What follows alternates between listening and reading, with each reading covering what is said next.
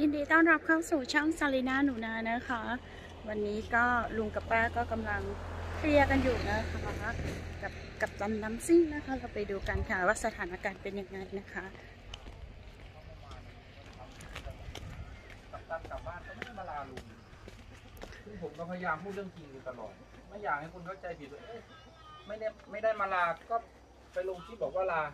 ถ้าวันหนึ่งวันหนึ่งถ้ามีคนมาพูดออกมาเอ้าลุง กับตันไม่ได้ลาลุง แล้วลุงไปทำคลิปลงไปบอกว่าลาลุง มันก็เหมือนกับหลอกลวงคนที่เขาดูเรา เพราะฉะนั้นการกระทำอะไรที่มันเป็นเหตุและผล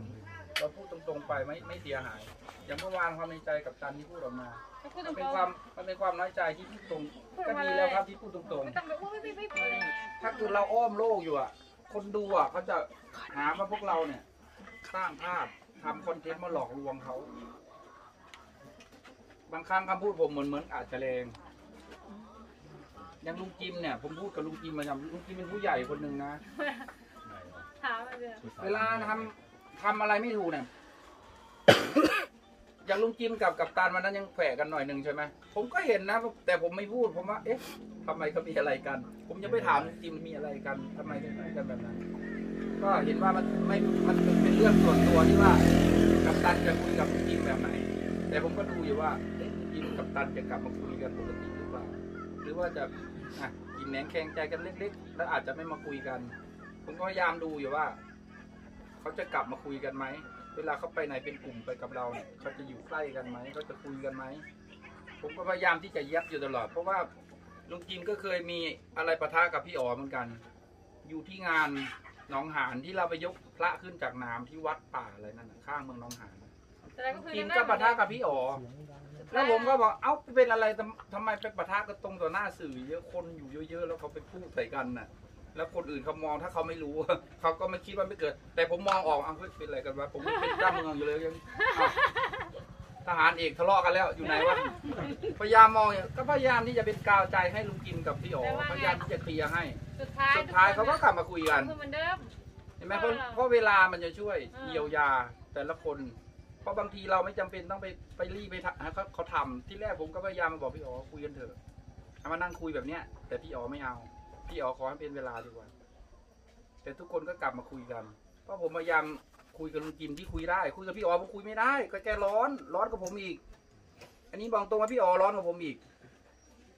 ทำไมผมต้องเรียกพี่อ๋อ พี่อ๋ออาจจะอายุน้อยกว่าผมวายวุฒิน้อยกว่าผม แต่วัยวุฒิคุณวุฒิผมจะแยกแยะออกจากกัน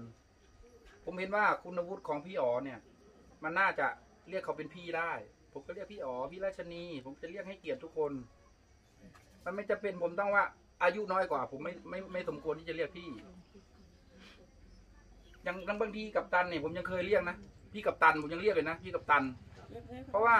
การที่เรามาอยู่เราไม่รู้ว่าเขาไปทำอะไรมาเขาอยู่ตำแหน่งไหน ผมให้คุณวุฒิเป็นที่ตั้งวัยวุฒิคุณอาวุฒิวายุวุฒิเนี่ยผมจะแยกออกจากกัน การที่เราให้เกียรติใครเนี่ยมันไม่ใช่เรื่องยากทำได้ ไลฟ์ใช่ก็คุยให้เอฟซีเขาเข้าใจ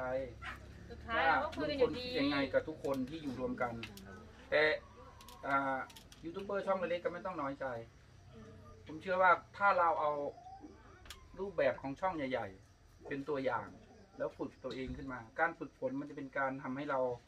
อ่ามีประสบการณ์ในการทำอย่างพี่เสนรินทร์ผมดูจนจบนะ คลิปที่พี่เขาทำต่อเนื่องเมื่อคืน หลังจากสัมภาษณ์ผมเสร็จก็ไปสัมภาษณ์พี่หนึ่ง แล้วพี่เขาก็เดินไปคุยไป นั่นคือการทำงาน นั่นก็พวกเราก็เข้าไปดูในคลิปตรงนั้น แล้วก็เก็บเกี่ยวประสบการณ์ตรงนั้นมาพัฒนาในคลิปของตัวเอง ว่าพูดยังไงแล้วจะมีคนเข้ามาดู มันเหมือนการเล่าเรื่องที่เกิดขึ้นในบ้านลุงพลน่ะเอามาปฏิดประต่อกันแล้วทำคลิปที่มันมีคุณภาพขึ้น ผมเชื่อว่าคนต้องเข้าไปดู แล้วต้องดูสักตอนนี้ตอนบ่ายก็จะบ่ายนะคะเดินทางปลอดภัยนะคะจริงๆอะ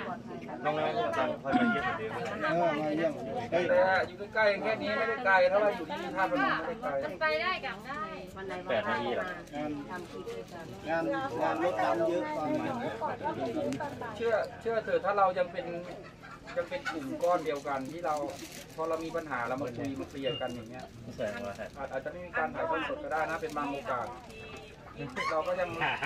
สามัคคีกันเหมือนเดิมเขาสูงแล้วเลยเพราะว่ามันจะมีคนบางกลุ่มนะผมไม่รู้ว่าเขาหวังดีหรือไม่หวังดีเขาจะพยายามที่จะแอบดูเราอยู่เสมอทะเลาะกันแล้วนะครับช่องใหญ่ๆเรื่องทะเลาะกันก็แต่วันนี้ ขอบคุณสำหรับคลิปนี้นะคะ ก็ดีไปรายงานตัวแล้วทุกอย่างก็ดีขึ้นนะคะขอบพระคุณมากๆนะคะไม่แน่ผมไปที่รายงานตัวก็อาจจะยกฟ้องก็เลยนะไม่ไม่ดำเนินคก็ดีเป็นภาพเหตุการณ์ของวันนี้ค่ะสถานการณ์ล่าสุดนะคะ ขอบคุณสำหรับคลิปนี้นะคะ สวัสดีค่ะ